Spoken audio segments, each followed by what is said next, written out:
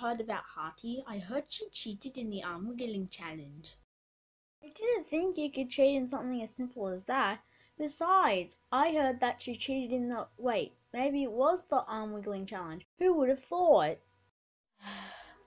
Picky, it's not worth my time talking to you at all. Sorry, Picky. Shush you two, it's elimination time.